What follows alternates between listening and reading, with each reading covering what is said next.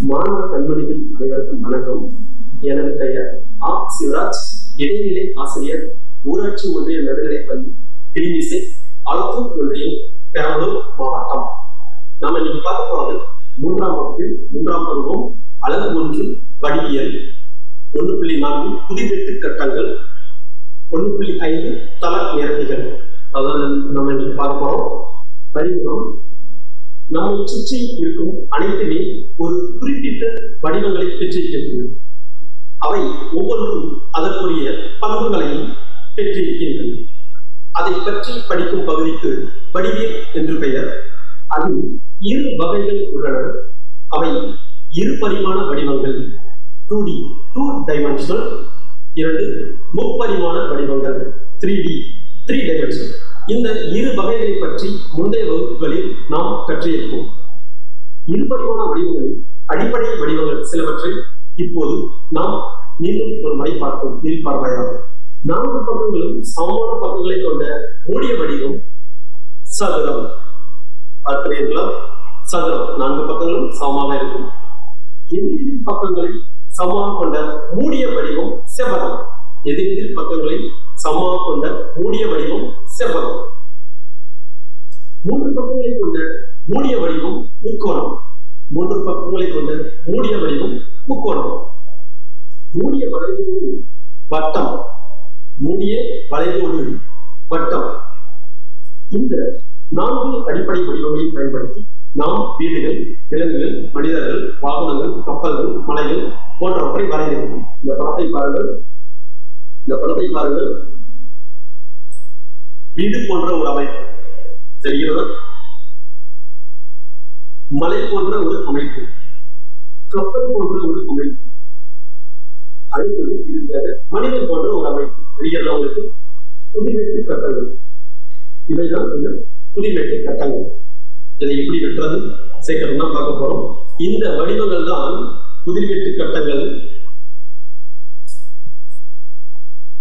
தெரிகிறதா ஏழு துண்டு புதிவிட்டு கட்டத்திற்கான வடிவம் தெரிகிறதா? இதைத்தான் நாம் இப்போது பட விளக்க முறையை பார்க்க போகிறோம். இதை செய்யறதுக்கு முன்னாடி உங்க வீட்டுல பெரியவர்களோட உதவியுடன் இதை செய்யுங்க.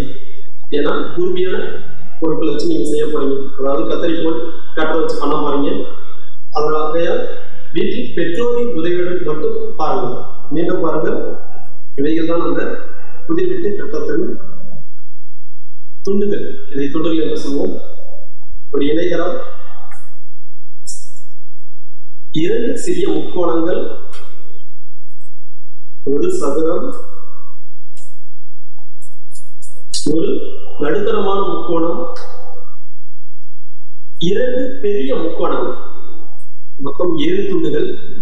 மொத்தம் ஏழு துண்டுகள் அதில் ஐந்து முக்கோணங்கள் ஒரு சதுரம் ஒரு இணைகரம் இருக்கிறது. இப்போது நாம் இதை எப்படி மடிப்பது எப்படி வெட்டுவது என்பதை நாம் பார்ப்போம். பார்க்கலாமா? பாதுகாப்புடன் செய்யுங்கள் மாணவர்களே. தேவையான பொருட்கள். என்னென்ன என்பதை பாருங்கள். தேவையான பொருட்கள் காகிதம் ஒன்று கத்திரிக்கோள் ஒன்று அளவுகோல் ஒன்று பென்சில் ஒன்று. நமக்கு தேவை ஒரு சதுர வடிவத்தால் இது போன்ற ஒரு சதுர வடிவத்தால் பாருங்கள் இது போன்ற ஒரு சதுர வடிவத்தால் தான் நமக்கு வேணும். ஆனா நமக்கு பெரும்பாலும் செவ்வக வடிவத்தால் தான் கிடைக்கும். இது போன்ற ஒரு செவ்வக வடிவத்தால் தான் கிடைக்கும். நம்ம கப்பல் செய்யணும்ல அதுக்கு என்ன பண்ணுவோம் சாதாரண நம்ம கத்தி கப்பல் கப்பல் தான் செய்யணும் அதுக்கு செய்யற அதே ப்ரொசீஜர் தான் இருக்கும் பண்ண போறோம் ஏழு முனையை கீழே ஒரு இன்ச்சு பகுதி ஒன்று கிடைக்கும். அதை கட் பண்ணி வெட்டி எடுத்துட்டோம்னா நம்மளுக்கு சதுரமா ஒன்று கிடைச்சிடும் சதுர வடிவம் தாள் கிடைச்சிடும் அதை வச்சு நம்ம கப்பல் செய்வோம். இங்க வந்து நம்ம புது வெட்டி கட்டங்கள் செய்ய போறோம். சதுர வடிவத்தால் கிடைச்சிருச்சு. சதுரம் நான்கு பக்கங்களும் சமமான ஒரு வடிவம். இரண்டு கோடுகளில் இணைக்கும் புள்ளி முனை. முதல் முனை இரண்டாம் முனை மூன்றாம் முனை நான்காம் முனை. மொத்தம் சதுரத்திற்கு நான்கு முனைகள். முதல் முனையையும் மூன்றாவது முனையையும் இணைக்கும் கோடு மூளைவிட்டம் முதல் முனையையும் மூன்றாவது முனையும் இணைக்கும் கோடு மூளைவிட்டம்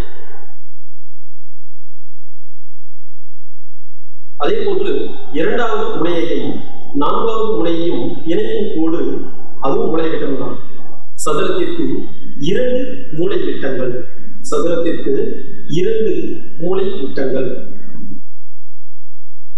ஆமா ஃபர்ஸ்ட் முக்கோணம். கீழே பார்த்தீங்கன்னா தெரியும் உங்களுக்கு. இந்த ரோஸ் கலர்ல இருக்குல்ல அதை முதல்ல வெட்டி எடுக்கிறோம் அதுதான் முதல் முக்கோணம் பெரிய முக்கோணம். முதல் முக்கோணம் பெரிய முக்கோணம். இதுதான் புதிரெட்டு கட்டத்தோட ஃபர்ஸ்ட் கட்டிங் அடுத்தது அதுக்கு மேலேயே பார்த்தீங்கன்னா இரண்டாவது முக்கோணத்தை வெட்டும் பார்த்தீங்களா? இது இரண்டாவது முக்கோணம் இந்த இரண்டு பெரிய முக்கோணம் சம அளவில் இருக்கும் அடுத்தது இந்த முனையை மேலிருந்து கீழாக மடிக்கும் முனையை மேலிருந்து கீழாக மடிச்சீங்கன்னா மேல ஒரு சின்ன முக்கோணம் கிடைக்கும். அது மூன்றாவது முக்கோணம். அதையும் வெட்டி எடுத்துடலாம். அடுத்தது இது மூணாவது முக்கோணம். அடுத்தது அந்த முனையை இந்த விரலில் பார்த்தீங்கன்னா இந்த முனையை அங்க மடிச்சீங்கன்னா ஒரு சிறிய முக்கோணம் ஒன்று கிடைக்கும். ப்ளூ கலர்ல தெரியுதா உங்களுக்கு? அந்த சிறிய முக்கோணம் கிடைக்கும். அதை வெட்டி எடுக்கும் இப்போது பாருங்கள். இது நாலாவது முக்கோணம். அடுத்ததாக பாருங்கள். ஒரு சதுர வடிவ அமைப்பு தெரிகிறதா? அங்கே ஒரு சதுர வடிவ அமைப்பு தெரிகிறதா? அதான் ஐந்தாவது துண்டு சதுரம். அதையும் வெட்டி எடுத்துரும் வெட்டி எடுத்தாச்சு. இப்ப அடுத்தது பாருங்க அந்த கை விரல் வச்சிருக்கோம்ல? அதையும் அந்த இடத்துல மடிச்சீங்கன்னா ஒரு சிறிய முக்கோணம் கிடைக்கும். ஏற்கனவே நாலாவது ஒரு முக்கோணம் நம்ம வெட்டோம் பார்த்தீங்களா? அதே அதனுடைய இன்னொரு முக்கோணம் கிடைக்கும். அதுதான் ஆறாவது முக்கோணம். அதை வெட்டி எடுத்தோம் அப்படின்னா நம்மளுக்கு ஆறு துண்டுகள் கிடைச்சிருச்சு இது வரைக்கும். ஏழாவது துண்டு நம்ம வெட்டவே தேவையில்லை.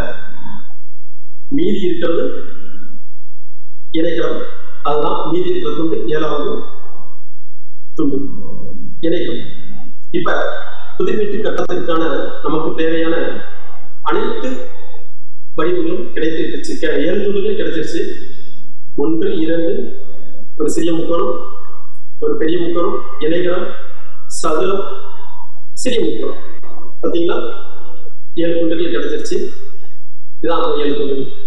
இப்போது படவிலக்குல பார்த்தோம் இப்ப நம்ம எப்படி வெட்டுறதுங்கிறத நேரடியாக ஒரு தடம் செஞ்சு முதல்ல ஒரு இது போன்ற ஒரு கலர் பேப்பர் எடுத்துக்கலாம். இல்லை ஒயிட் பேப்பர் எடுத்துக்கலாம். எந்த பேப்பர் வேணாலும் நீங்கள் எடுத்துக்கலாம். ஏதாவது ஒரு பேப்பர் நீங்க எடுத்துங்க.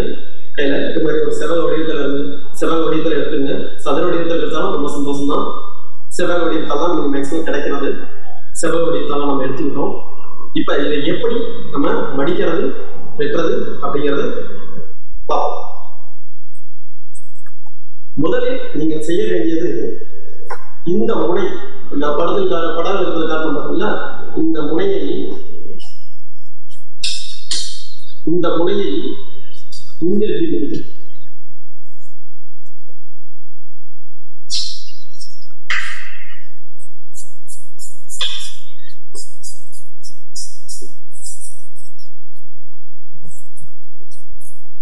இது போன்று முதல் படி அதாவது நான் சொல்லியிருந்தேன். இதுதான் ஒரு மூளைவிட்டம் சொல்லியிருந்தேன். முதல் மடிப்பு கீழே இருக்கிற இந்த எஞ்சிய பகுதியை தான் நம்ம வெட்டி எடுக்க போறோம்.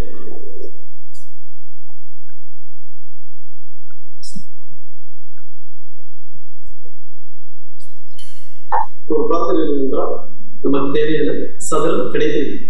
நமக்கு தேவையான ஒரு சதுரம் கிடைச்சிருச்சு. இப்ப மூளை விட்டங்களை மடிக்க போறோம். ஏற்கனவே நம்ம முதல் மூளை விட்டத்தை மடிச்சாச்சு அடுத்த மூளை விட்டத்தை மடிக்க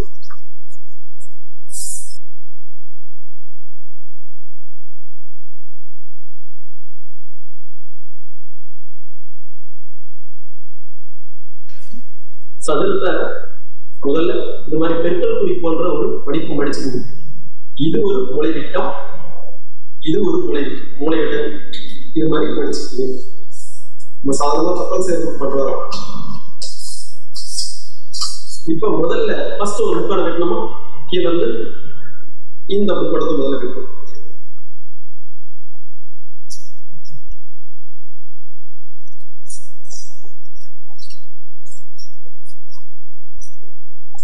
பாருங்க முக்கோணம். ஏன் அந்த முக்கோணத்திற்கு முக்கோணம் என்று பெயர் வந்து தெரியும்? மூன்று கோணங்களை உடையது முக்கோணம். மூன்று கோணங்களை உடையது முக்கோணம். என்ன சொல்லலாம் இப்ப பாருங்க. இந்த இரண்டு கோடுகளையும் இணைக்கிற இந்த இடம் தான் கோணம்னு சொல்லுவாங்க. அதே மாதிரி இது ஒரு கோணம் இது ஒரு கோணம். மூன்று கோணங்கள் உடையது. ஒரு கோணம் இரண்டு கோணம் மூன்று கோணம். அதனாலதான் இதுக்கு பேர் முக்கோணம். இப்ப முதல் முக்கோணத்தை நம்ம வெட்டிட்டோம். முதல் முக்கோணத்தை வெட்டிட்டோம். அடுத்தது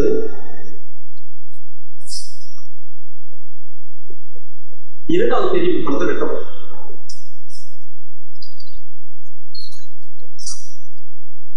பக்கத்திலே இருக்கிற இரண்டாவது அளவில் இரண்டும் ஒரே அளவு உடையது. ஏற்கனவே வெட்டிய முக்கோணமும் இந்த முக்கோணமும் ஒரே அளவு உடையது. ஏற்கனவே இருக்கின்ற வெட்டிய முக்கோணமும் இந்த முக்கோணமும் ஒரே அளவுடையது பாருங்கள். வெட்டியாச்சு. இப்ப நம்மகிட்ட ஒரு பெரிய முக்கோணம் ஒண்ணு இதுல மேற்முனை சாரி இப்ப நம்மகிட்ட ஒரு பெரிய முக்கோணம் கிடைச்சிருக்கு. இப்ப இந்த முனையை இங்க மடிக்க போறோம்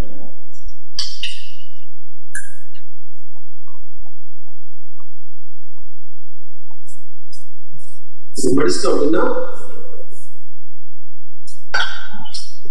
இங்க ஒரு மடிப்பு தெரிகிறதா? தெரிகிறதா?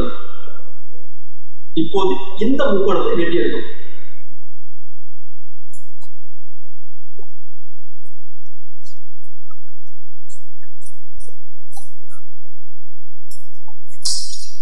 வெட்டி எடுத்துக்கிட்டோம் இது மூன்றாவது முக்கோணம் இது மூன்றாவது முக்கோணம் வெட்டி கடைசி நமக்கு ஒரு கப்பல் போன்ற ஒரு அமைப்பு கிடைச்சிருக்கா கப்பல் மாதிரியே இருக்கா? சரி. இப்போது இந்த முனை இந்த முனை தெரிகிறதா? இந்த முனையை இவ்வாறு பிடிப்பது பாருங்கள். இந்த முனையை ஏற்கனவே நம்ம படிச்சோம் பார்த்தீங்களா இந்த மொழி இப்படி படிக்கும். நன்றாக பாருங்கள். இந்த மொழி இப்படி மடிக்கணும் படித்த பிறகு இதுல ஒரு சின்ன முக்கோணம் நமக்கு கிடைக்கும்.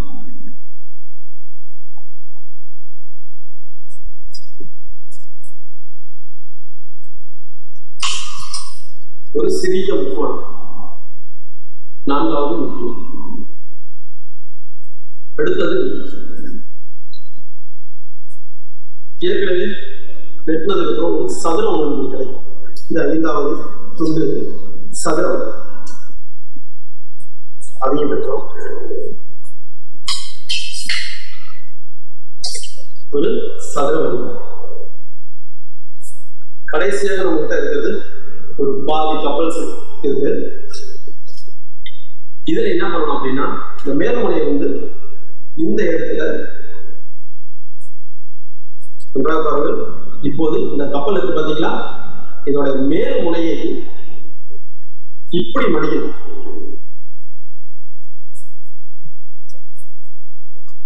பாருங்கள் மேல் முனையை இந்த முனையுடன் இணைக்கணும் இணைச்சிங்கன்னா இங்க ஒரு பிடிப்பு கிடைக்கும். மேல் முனையை இங்க மடிச்சீங்கன்னா இங்க ஒரு பிடிப்பு கிடைக்கும். இப்ப இது இதையும் கற்பனை பண்ணி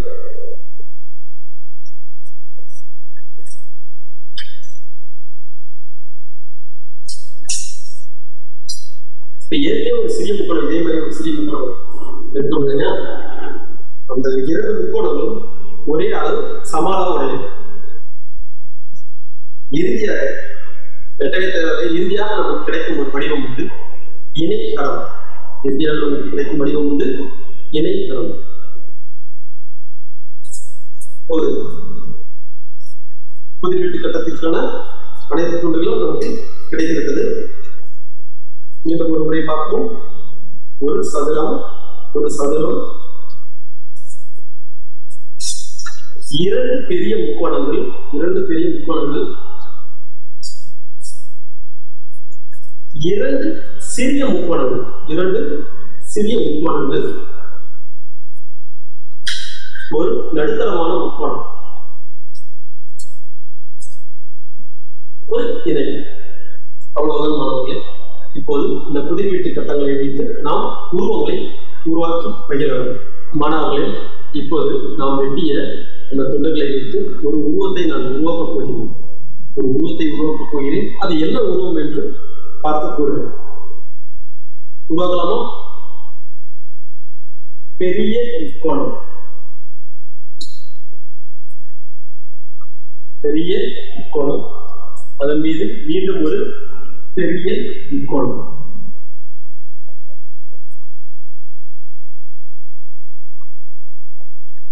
அடுத்தது சதுரம். சதுரத்தை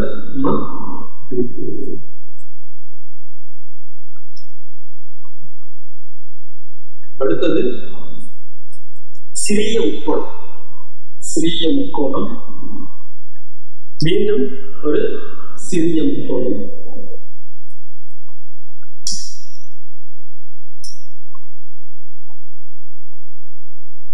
நடுத்தரமான முக்கோணம்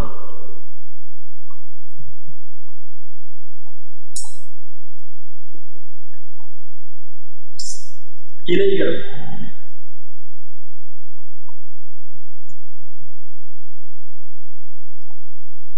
இப்போது பாருங்கள் எந்த உருவத்தை போன்று உள்ளது? இந்த உருவம் எதனை போன்று உள்ளது? ஆமை என்று கூறினால் சரி வாழ்த்துக்கள். முதல் முக்கோணம். பாருங்கள் முதல் முக்கோணத்தையும் அடுத்த பெரிய ஒரு முக்கோணம். சதுரம். சிறிய முக்கோணம். இணையரம் சிறிய முக்கோணம். பெரிய முக்கோணம். பாருங்கள் ஒரு மீன் போன்ற ஒரு அமைப்பு. மீன் போன்ற ஒரு அமைப்பு.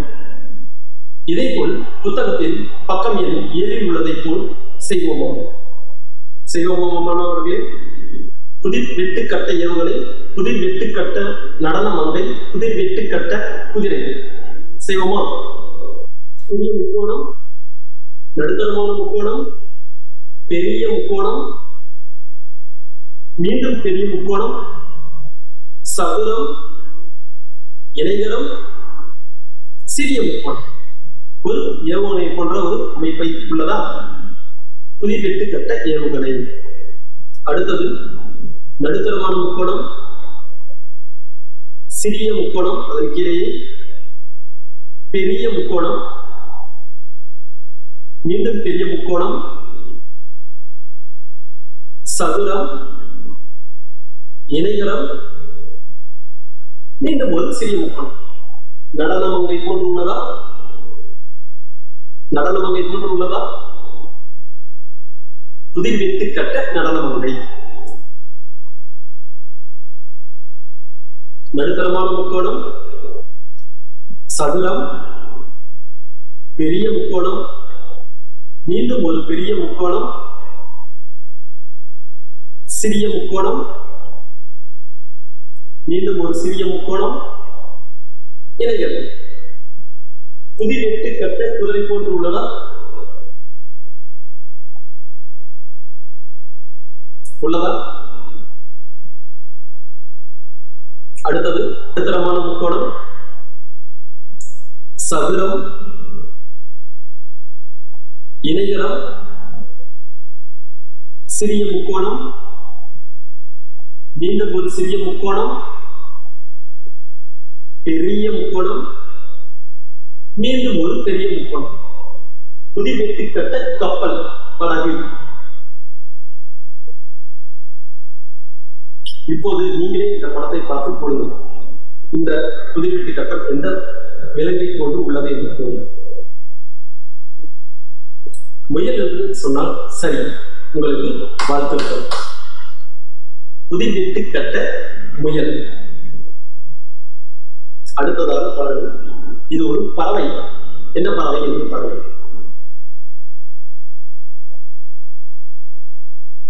வான்கோழி என்று கூறினால் மிகச்சரி வாழ்த்துக்கள். புதைவிட்டு கட்ட வான்கோழி. இது ஆயிரத்திற்கும் மேற்பட்ட உருவங்களையும் வடிவங்களையும் மட்டுமல்லாமல் எண்களையும் ஆங்கில எழுத்துக்களையும் இதில் நாம் உருவாக்கலாம். மேலும் வீட்டில் நீங்கள் இதனை பெற்றோரின் உதவியுடன் உருவாக்கி மகிழுங்கள். இதன் மூலம் உங்களது கற்பனை திறன் வளரும் என்பதில் ஐயமில்லை பெற்றோரோ ஆசிரியரோ அல்லது பெரியவர்களின் உதவியுடன் புதுவீட்டு கட்ட துண்டுகளை சேகரித்து அல்லது தயாரித்து குறிப்புகளுக்கு ஏற்ற படிவங்களை உருவாக்குகிறது முக்கோணங்களை மட்டும் பயன்படுத்தும். நம்ம ஒரு புத்தகத்தை செயல்பாடு கொடுத்துருக்காங்க. முக்கோணங்களை மட்டும் பயன்படுத்தி ஒரு அருங்கோண வடிவத்தை உருவாக்க சொல்லியிருக்காங்க. அதே மாதிரி அந்த ஒன்று ரெண்டு மூணு ஐந்து துண்டுகளை பயன்படுத்தி செவகம் உருவாக்க சொல்லியிருக்காங்க. நான் அறுகோண வடிவத்தை உருவாக்கிறேன் நீங்க சிறந்த வடிவத்தை உருவாக்குங்க. பெரிய முக்கோணம் மீண்டும் ஒரு பெரிய முக்கோணம் ஒரு நடுத்தரமான முக்கோணம் அடுத்து அதை அடுத்து இரண்டு பெரிய முக்கோணங்கள். பாருங்கள். ஒரு அறுகோண வடிவம். முக்கோணத்துக்கும் மூன்று கோணங்கள் இருக்கும் அறுகோணத்துக்கும் ஆறு கோணங்கள் இருக்கும். முக்கோணங்களை மட்டும் பயன்படுத்தி நாம் அருங்கோண வடிவத்தை உருவாக்கியிருக்கிறோம் நீங்கள் செலவு வடிவத்தை நீங்கள் உருவாக்குவோம் அடுத்தது நாம் பார்க்க இருக்கும் தலைப்பு தல நிரப்பிகள். ஒன்று புள்ளி ஐந்து தல நிரப்பிகள். ஒரு வடிவம் பலமுறை பயன்படுத்தப்பட்டு இடைவெளியின்றி ஒரு தளத்தை அடுத்தடுத்த சுழற்சியில் நிரப்பும் போது அவற்றை தல நிரப்பிகள் என்கிறோம். ஒரு வடிவம் பலமுறை பயன்படுத்தப்பட்டு இடைவெளியின்றி ஒரு தளத்தை அடுத்தடுத்த சுழற்சியில் நிரப்பும் போது அவற்றை தல நிரப்பிகள் என்கிறோம். ஒரு சமதளத்தில் இடைவெளியின்றி வில்லைகளை ஓடுகளில் பொருத்தும் போது நாம் வில்லைகள் அடங்கிய தரை கிடைக்கப் பெறுகின்றோம். ஒரு சமதளத்தில் இடைவெளியின்றி வில்லைகள் ஓடுகளை பொருத்தும் போது நாம் வில்லைகள் அடங்கிய தரை கிடைக்கப் பெறுகின்றோம். வேற ஒன்றும் இல்லை நமது வீட்டில் டெய்ல்ஸ் பருப்போம்களா அதே தான் டெய்ல்ஸ் வேலை தட்டு பதிக்கிறாங்களோ அதுதான் வில்லைகள் சொல்லியிருக்கிறாங்க. முக்கோணம் சதுரம் அருங்கோணம் போன்ற வடிவங்கள் ஒரு தளத்தை நிரப்பும். ஆனால் ஐங்கோணம் எண்கோணம் போன்ற அமைப்புகள் தளத்தை நிரப்பாது. முக்கோணம் சதுரம் மட்டும்தான். முக்கோணம் சதுரம் அருங்கோணம் தளத்தை நிரப்பும். ஐங்கோணம் எண்கோணங்களும் தளத்தை நிரப்பாது வட்டமும் நிரப்பாது. முக்கோணம் ஒரு தளத்தை நிரப்புகிறதா என்று பாருங்கள். முக்கோணம் ஒரு தளத்தை நிரப்புகிறதா என்று பாருங்கள். இடைவெளியின்றி அடிக்கொண்டே வருகிறது. இடைவெளி இல்லை. ஒரு தளத்தை நிரப்புகிறது. முக்கோணம் தளத்தை நிரப்புகிறது. இது ஒரு தலைநகர் அடுத்தது சதுரம். சதுரம் ஒரு தலைநகர் இடைவெளியின்றி ஒன்றன் ஒன்றாக எழுதியாச்சு. சதுரமும் ஒரு தலைநகர் அடுத்தது அருங்கோணம் அருங்கோண வடிவம் பாருங்கள். தென்புடு போன்ற ஒரு அமைப்பு. இடைவெளி இல்லாமல் பாருங்கள். இதுவும் ஒரு தளத்தை நிரப்புகிறது. அருங்கோணம் ஒரு தள நிரப்பி அடுத்தது ஐங்கோணம் வரிசையாக அடிக்கிட்டே வரும். பாருங்க அதுல இடைவெளி தெரியுதான் பாருங்க அம்புகுரியை பாருங்க அம்புகுறி காட்டுற இடத்துல பாருங்க இடைவெளி இருக்கிறதா? ஆம் இருக்கிறது ஆகையால் ஐங்கோணம் ஒரு தலநிரப்பி ஆகாது. அது ஒரு தலநிரப்பி அல்ல. அந்த அம்புகுறி காட்டின இடத்துல பாத்தீங்கன்னா இடைவெளி. அதனால இது தலநிரப்பி அல்ல. அடுத்தது எண்கோணம். எண்கோணமும் பாருங்க. இடைவெளி தெரிகிறதா? இடைவெளி தெரிகிறதா? அந்த அம்புகுறி பாருங்க. காட்டுற அம்புகுறி பாருங்க. ஆம் இடைவெளி இருக்கிறது. அதற்கையால் இது ஒரு ஆகாது அடுத்தது வட்டம். அடுத்தது வட்டம். ஒரு தலைநிரப்பி பாருங்க. இது அதே போன்று இடைவெளி இருக்கிறது. இடைவெளி இருக்கிறதா? இடைவெளி இருக்கிறதா? ஆம். ஆகையால் வட்டம் ஒரு தலைநிரப்பி ஆகாது. இப்போது எவை எவை தலைநிரப்பிகள் எவை எவை தலைநிரப்பிகள் அல்லாது பார்ப்போமா? எவையவை தலைநிரப்பிகள் எவையவை தலைநிரப்பிகள் அல்லாதவை என்று பார்ப்போம் முக்கோணம் சதுரம் அருங்கோணம் இவையெல்லாம் தலைநிரப்பிகள் தலைநிரப்பிகள் அல்லாதவை ஐங்கோணம் எண்கோணம் வட்டம் இவையெல்லாம் தலைநிரப்பிகள் அல்லாதவை. மேலும் என்னென்ன வடிவங்கள்னா தலைநிரப்பிகள் என்னென்ன வடிவங்கள்னா தலைநிரப்பிகள் அல்லாதவைன்னு நீங்களே செஞ்சு பாருங்க மதிப்பீடு முதல் கேள்வி. சொல்லுங்கள். முதல் கேள்வி புதிவெட்டு கட்டத்தை டேஸ் என்றும் அழைக்கலாம். புதிவெட்டு கட்டத்தை டேஸ் என்றும் அழைக்கலாம். எவ்வாறு அழைக்கலாம்? பதிலை பாருங்கள். புதிவெட்டு கட்டத்தை பகுத்தறிவு புதிர் என்றும் அழைக்கலாம். புதிவெட்டு கட்டத்தை பகுத்தறி புதிர் என்றும் அழைக்கலாம். அடுத்த கேள்வி. புதிவெட்டு கட்டத்தில் டேஸ் வடிவங்கள் உள்ளன. குறிப்பிட்டு கட்டத்தில் டான்ஸ் வடிவங்கள் உள்ளன. சொல்லுங்கள் உங்களது ப- பதிலை சரி பார்க்கணுமா? புதிவீட்டு கட்டத்தில் மூன்று வடிவங்கள் உள்ளன. புதிவீட்டு கட்டத்தில் மூன்று வடிவங்கள் உள்ளன. ஏழு குண்டுகள் ஆனால் வடிவங்கள் மூன்று. முக்கோண வடிவம் சதுர வடிவம் இணைகிற வடிவம். அடுத்த கேள்வி. புதிவீட்டு கட்டத்தில் டேஸ் முக்கோணங்கள் உள்ளன. புதிவீட்டு கட்டத்தில் டேஸ் முக்கோணங்கள் உள்ளன. எத்தனை முக்கோணங்கள் உள்ளன புதிவீட்டு கட்டத்தில்?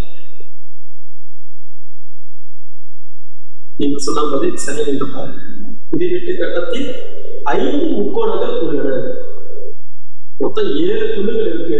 இதுல சதுரத்தையும் இணையத்தையும் நீக்கிட்டோம் அப்படின்னா மீதி இருப்பது முக்கோணங்கள். மொத்தம் ஐந்து.